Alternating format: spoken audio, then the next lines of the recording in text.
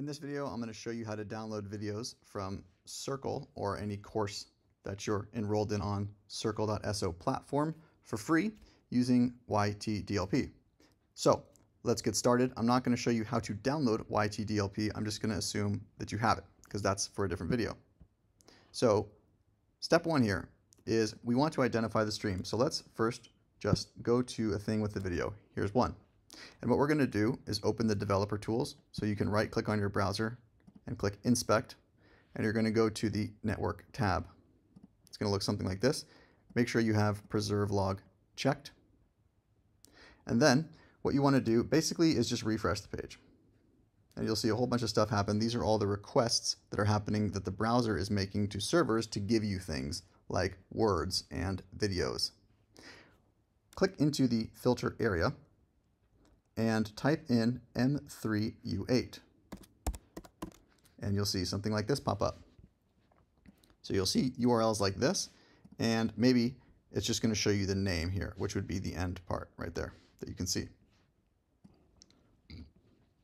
Click on the main one, and this request URL is what you're going to want to copy. So we'll just take that, and we'll copy that for now. And I'll just save it right here. All right that step one is done. Now, step two is we are going to have this command here. And basically, you can just copy this command. It looks like that.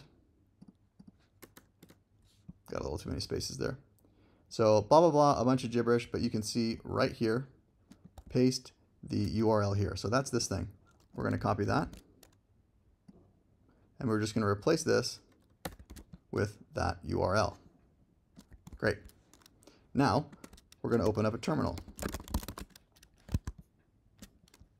So, replace the URL and paste it into a terminal and hit enter. So wherever you are on your machine, this is desktop, I'm just going to paste that and press enter.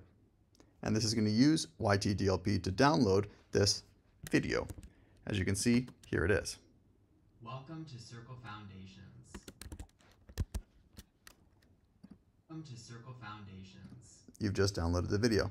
If you want a little bit more explainer on what each thing does, you can read through these. And if you don't want to go through that manual process, you can always check out the Circle Video Downloader, which is a browser extension I made that makes this just, I guess, easier. For example, on the Circle Video Downloader, all you have to do is refresh the page when you're on one, and you'll see the video here, and you can just click the download button and it will download wherever you want to your desktop, including some of the metadata that was not included with the YT DLP command, just because it's that much better.